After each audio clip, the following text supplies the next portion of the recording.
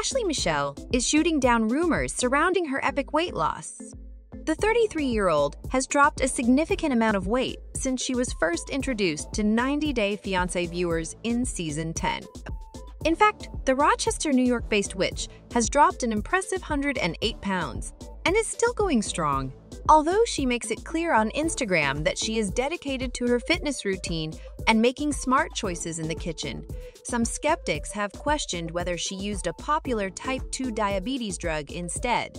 Taking to Instagram to shut down any gossip, Ashley shared a compilation video showing off her before and after physiques.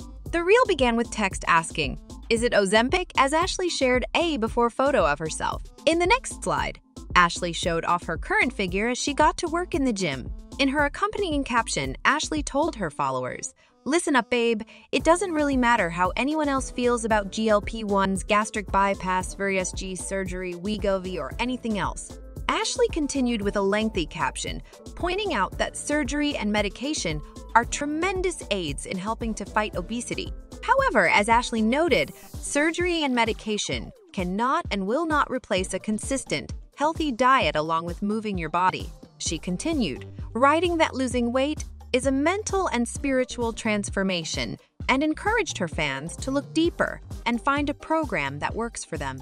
She ended her message saying, and keep going. You deserve happiness just like the next person.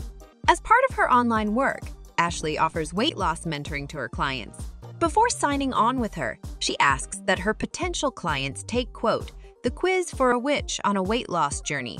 Take this quiz to discover which goddess archetype you need to be working closely with to reach your weight loss, health, and fitness goals.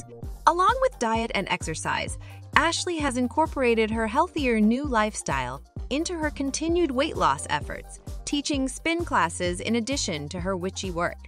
Earlier this month, Ashley referred to herself as a self proclaimed cardio bunny and encouraged her followers to take their time with their fitness journeys. Have you been following Ashley's weight loss journey? Let us know in the comments. And don't forget to like and subscribe for more updates on the 90 Day Fiancé franchise and even more reality TV news.